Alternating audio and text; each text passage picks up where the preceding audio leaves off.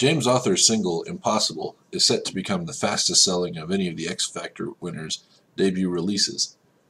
His cover of the Shontelle track went on sale digitally on Sunday evening, immediately after he won the show, and it had sold 187,000 copies by midnight on Monday.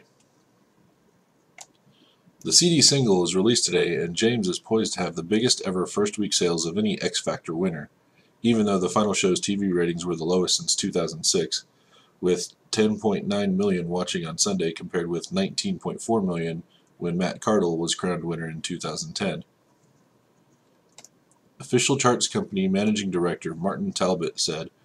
There has been a lot said about the X Factor's popularity this year, and questions have been raised that perhaps its momentum is beginning to wane but this amazing opening performance by James suggests it remains the preeminent launchpad for new artists.